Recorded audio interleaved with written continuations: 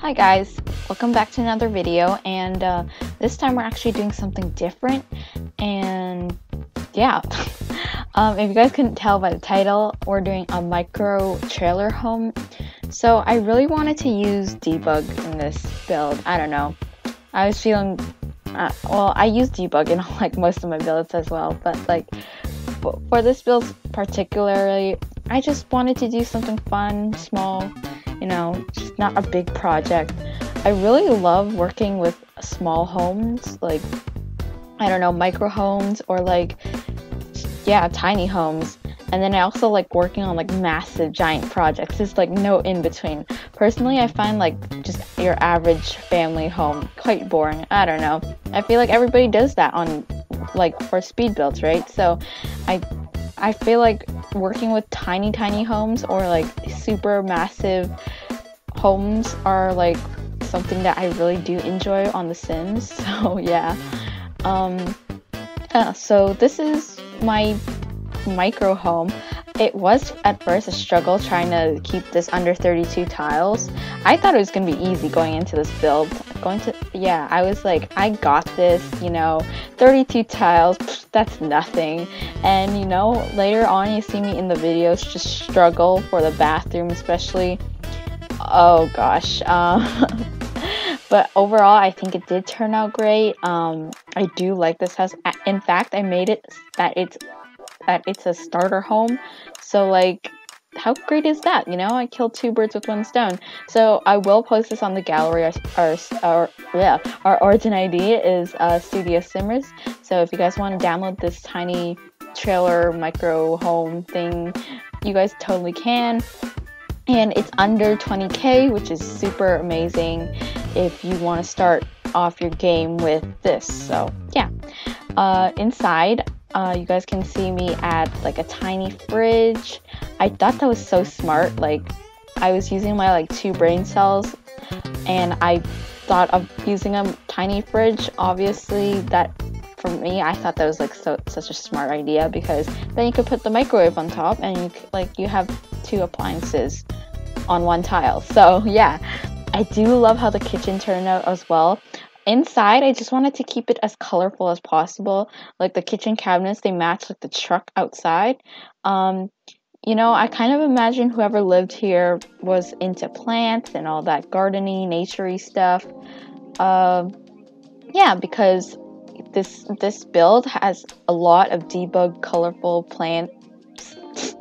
Yeah so I just wanted to add a lot of greenery and everything and I really thought that the plants and all in this build and like the colors especially brought everything together.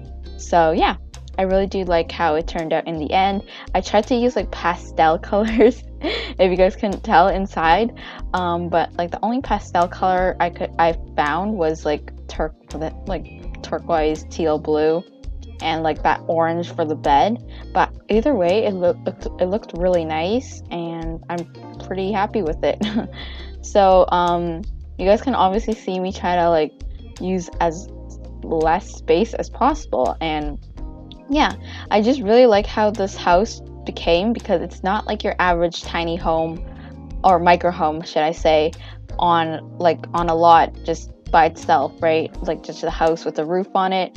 it it's like a trailer and I have seen these before like on on the internet or like on a YouTube video or on TV. I just I've seen one of these houses where like there's a trailer and the trailer's literally towing a like a tiny home.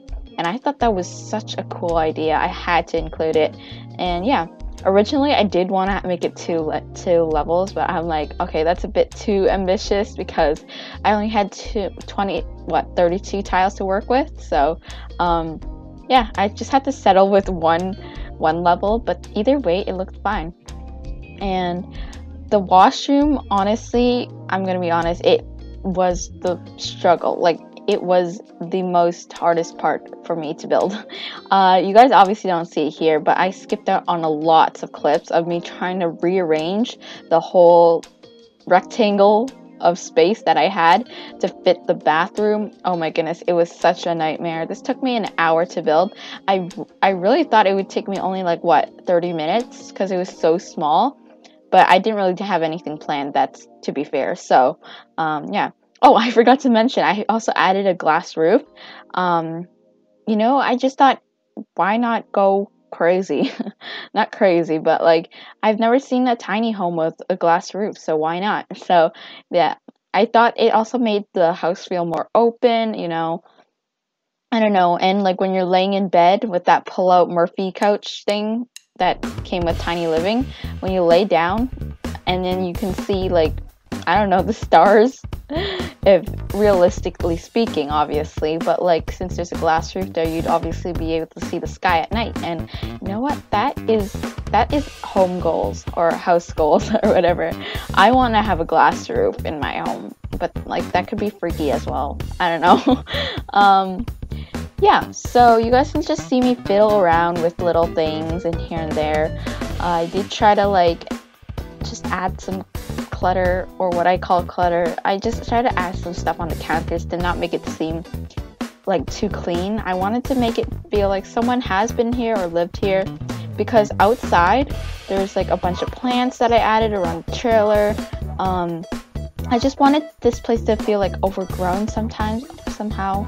Like maybe this person has settled down here for a long time and like plants started to grow around it or something. Or yeah, I don't know.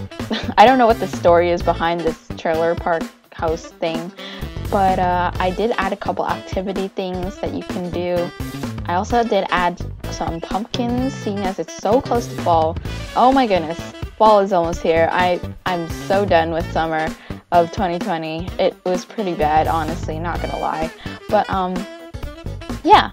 So I did add like a pumpkin, just a little hint for fall coming, and yeah, and then I moved on to outside. I really do love the color of the truck. I I don't know why I used the truck. There were so many other options I could have used. If you guys don't know, um, these the car or the truck I used was from Debug. Um, also, the trailer piece thing was also from Debug. It's so good for making trailers and everything, and I thought it was so cool to have, you know, just something that made it look make make makes house look different you know make your build look different.